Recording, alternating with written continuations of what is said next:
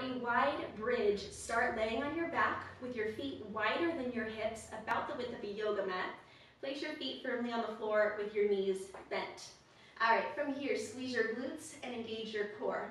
Inhale, and then exhale, press through your feet, squeeze your glutes, and lift your hips up. At the top of this position, we wanna make sure that we have a really tight squeeze in our glutes and our core. Our back isn't arched. All right, from here, inhale, lower yourself back down. Now with your feet being so wide apart, we do wanna make sure that our knees are in line with our toes, and that might mean that you need to press your knees out a little bit to focus more on the outside of your glutes. We don't want our knees to be caving in on this. So exhale up, squeeze here, press out, and then lower back down.